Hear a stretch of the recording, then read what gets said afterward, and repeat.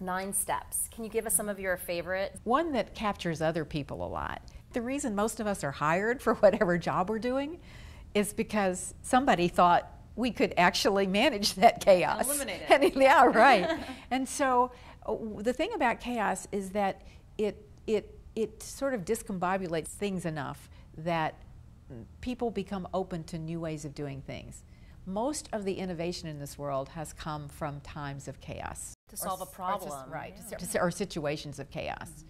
And so if you, if you, once you can realize that, it can actually help you thrive, particularly I think in a career sense.